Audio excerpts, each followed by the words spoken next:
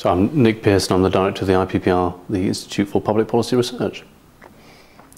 Well, I think what Ed Miliband has done is, is obviously tapped into considerable public concern about energy price rises.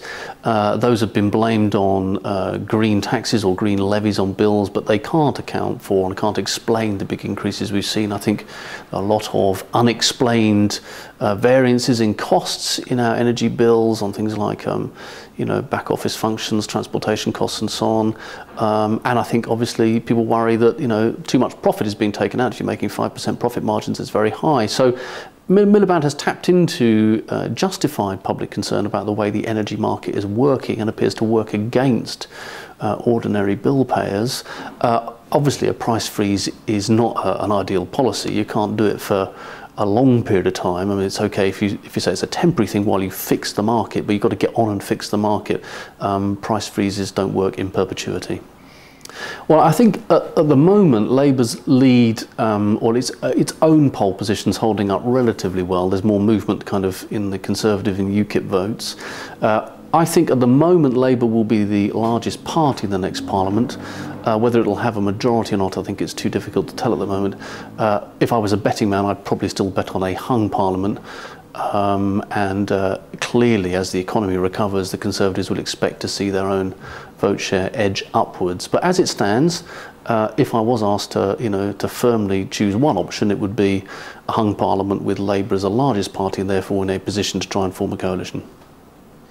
I think Labour started to put more flesh on the bones of its manifesto. It said quite a lot at the party conference season about things like childcare, mm. uh, as well as you know the uh, energy price uh, cap policy. I'd like to see more on things like childcare and social care. They're very important public services. We clearly need to hear a bit more from Labour about its own approach to deficit reduction, what it would do uh, with the economy, uh, investments in particular in things like housing as well. There's a lot of areas where Labour has started to map out the future, but more detail is needed. And I think the, the caring services, the public services, the investments in our infrastructure like housing are areas where we, we need to see and want to see more.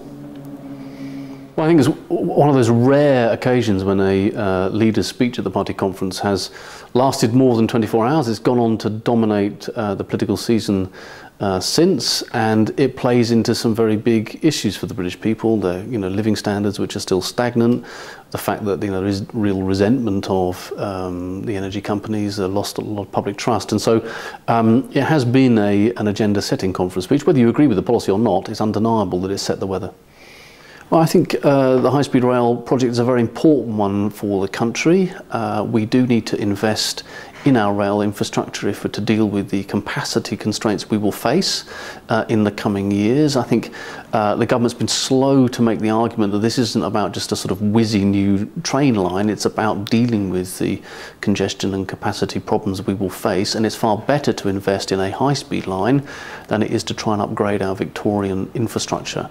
Uh, so I'm a supporter of the project, albeit one that wants to see uh, proper cost control, but it's very important that we have political consensus on these issues, that we try to secure the long-term national interest, and I hope Labour continues to see it in that light as well.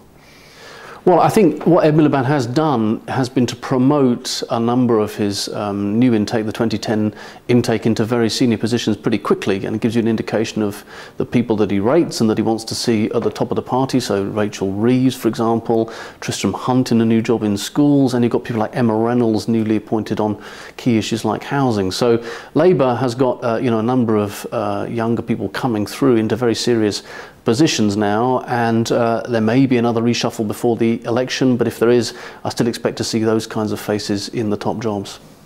So, yeah, all parties have people that work in the engine rooms of developing manifestos, uh, working up um, drafts for the politicians to shape. And in 2007, I was in number 10, and um, one of our tasks uh, was then to draft a manifesto in the eventuality that the Prime Minister chose to call a snap election.